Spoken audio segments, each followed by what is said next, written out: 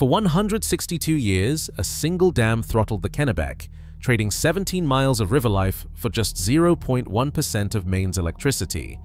Generations accepted the loss. Then, in 1999, federal regulators did what no one had dared. They forced removal against the owner's will. 78,000 fish became 5.5 million. That decision did more than restore a river. It started a movement that is shifting the fate of rivers across America. What made this small dam's removal the catalyst for a national reckoning? Edwards Dam first rose across the Kennebec in 1837, a wall of timber and stone stretching nearly a thousand feet from bank to bank.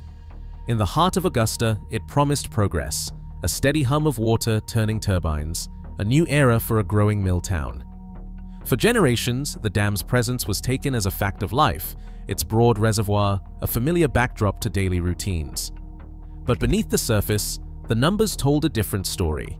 Despite its imposing size and the sense of permanence it projected, Edwards Dam delivered just 3.5 megawatts of power at its peak.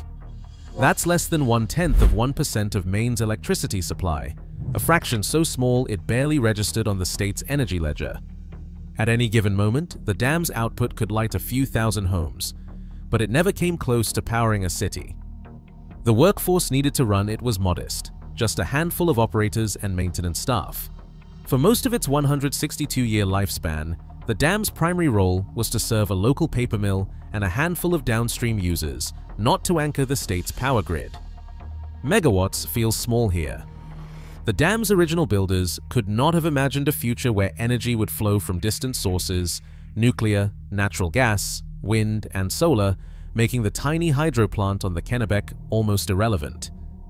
By the 1990s, Maine's total electricity generation reached nearly 14,000 gigawatt hours a year, with Edwards Dam contributing a sliver, 3.5 megawatts out of a statewide average of 4,000. On a pie chart, the dam's share barely formed a line, even the federal regulators reviewing its license renewal described the output as negligible, especially compared to the ecological costs accumulating year after year. The dam was never designed for flood control or irrigation. It did not store drinking water or protect towns from spring melt. Its only real product was a trickle of electricity produced at rates far above market value by the end, locked in by decades-old contracts.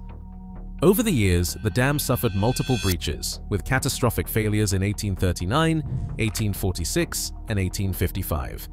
Each time patched and rebuilt, but never reimagined. Its original fish ladder was destroyed long before the Civil War, and it was never replaced. The structure endured through habit and inertia, not because it was essential. Trickle is the right word. By the 1990s, the arithmetic was hard to ignore. The dam's energy contribution was almost invisible on the state's balance sheet, but the bill it left for the river was stark. 17 miles of blocked habitat, a vanished migration, and a local economy starved of its natural foundation. The power math was clear. One small dam, a century and a half of disruption, and a payoff that no longer justified the cost. 17 miles summed it up. 17 miles of the Kennebec River once pulsed with life every spring. Before the dam, millions of fish, alewives, shad, salmon, and sturgeon fought their way upstream from the Atlantic, tracing ancient routes to spawning grounds scattered deep in the watershed.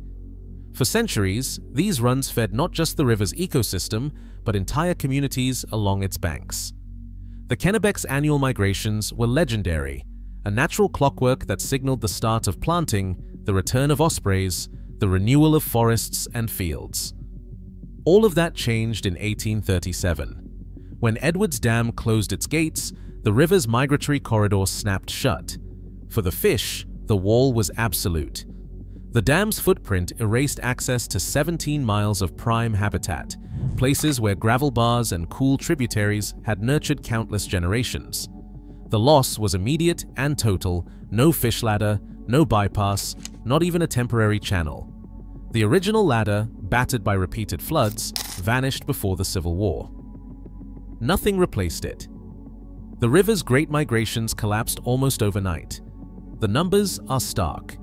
Before the dam, alewife and shad runs could number in the millions. Salmon, once so abundant they were sold by the barrel, dwindled to a trickle. By the late 20th century, only scattered survivors returned each spring, tens of thousands where there had once been millions. The river's food web unraveled. Eagles, ospreys, and otters lost a vital food source. The Kennebec's role as a nursery for the Gulf of Maine faded, with ripple effects reaching far beyond Augusta. For the fish that survived, the blocked river meant a desperate search for alternatives. Some spawned in whatever backwaters remained below the dam, but most found nothing. Generations of sea-run fish vanished from the upper Kennebec. The river's legendary abundance became a memory, passed down in stories and faded photographs. Local fishing families watched as the river emptied out, nets that once brimmed with silver now came up nearly empty. The collapse echoed through local economies, but the greatest cost was ecological, a living river reduced to fragments. By the 1990s, the Kennebec below Augusta had become a shadow of its former self. The dam's legacy was measured not just in lost power, but in the silence of a river cut off from its past. 17 miles of spawning grounds lay dormant, waiting for a chance to come alive again. In 1991, Edwards Manufacturing Company filed for a new 50-year license to keep the dam running. A coalition of conservation groups began assembling evidence, thousands of pages, scientific studies, economic reports, and testimony from fisheries experts. The case soon filled more than 7,000 pages of the official record, each document weighed the dam's meager contribution to Maine's power grid against the devastation it caused to the Kennebec River's living systems. The Federal Energy Regulatory Commission, FERC, was tasked with making the call. For decades, hydropower licenses were routinely renewed as a matter of course, but this time, the law required a new test. Was the dam's public benefit truly greater than the harm it inflicted? On November 25, 1997, FERC issued an order that stunned the industry. License renewal was denied. The Edwards Dam would come down. This was the first time in American history that federal regulators refused to relicense a dam over the owner's objections, citing the overwhelming ecological and public benefits of a free-flowing river. The commissioners, after years of hearings and review, determined that the Kennebec's restoration was worth far more than the 3.5 megawatts the dam could offer. They made it clear the era of automatic renewal was over. Dams could be deemed expendable, even against the will of their owners. The owners and their allies pushed back hard. Appeals were filed.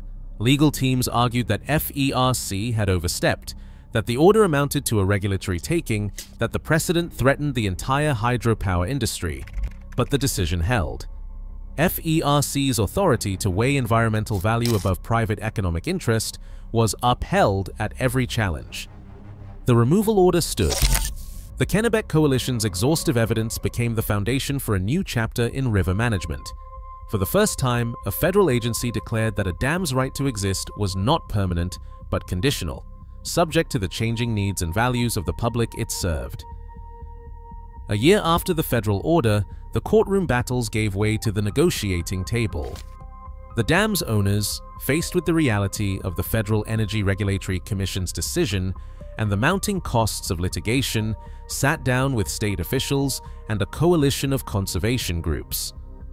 The question was no longer whether the dam would come down, but how, and who would pay for it. The answer came in the form of a $7.25 million settlement signed in May 1998. This deal was more than a check. It was a complex financial puzzle pieced together from multiple sources. The largest share came from Bath Ironworks, a shipyard downstream contributing as mitigation for its own impact on endangered sturgeon habitat. Federal and state agencies added restoration funds, while the dam's owner agreed to walk away in exchange for avoiding a drawn-out legal fight and the risk of paying for removal themselves.